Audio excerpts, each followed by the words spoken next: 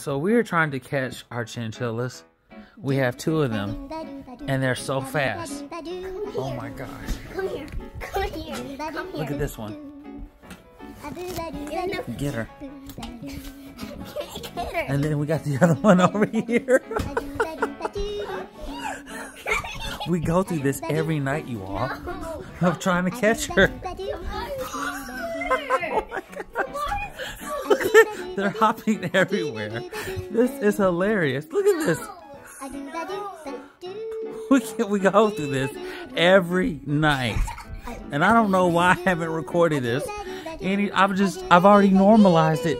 Look at this one. Look at this one. She's so fast. oh my gosh. This has to go viral, dude. This is freaking hilarious. We go through this every night.